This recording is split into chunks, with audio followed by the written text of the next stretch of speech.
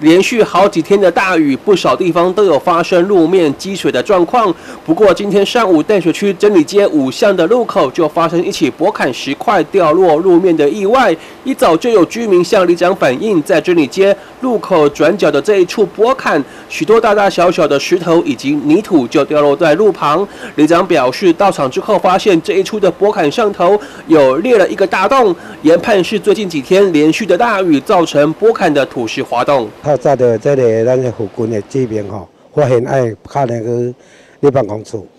啊，因为这进前就是因后有甲学校反映过啦，啊，学校伊是一直讲即个是较早即个做路吼，即条路做的时吼，古古早是电工所会施做布坎嘛，啊，伊迄个再去甲校这边后联络，甲公所后联络吼，啊，公所是立即伊拄啊，因啊紧来。我跟他关心嘛，再给他话来关心嘛哈。里长表示，由于这一处的坡坎是在多年前由当时的淡水镇公所为了开辟道路所建造，经过数十年的时间，坡坎上头还有一棵大树。虽然这一棵树已经枯死多年，但是树根已经深入了坡坎土壤当中，造成里头的细缝过大，加上连续的大雨，坡坎的含水量过高，就会造成崩落或者是土石掉落的现象。而里长也立即通报区公所前来处理。因为这管道太悬了，因为两楼外悬哦，万一出来遮，搁在学生遮多，啊，搁迄个游客哦，这过来属于是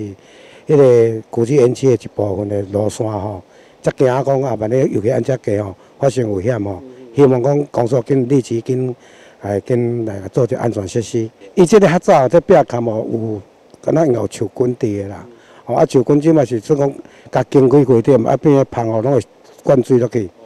哦，水都渗进去哦，啊，所以造成它里面的那个土质软化，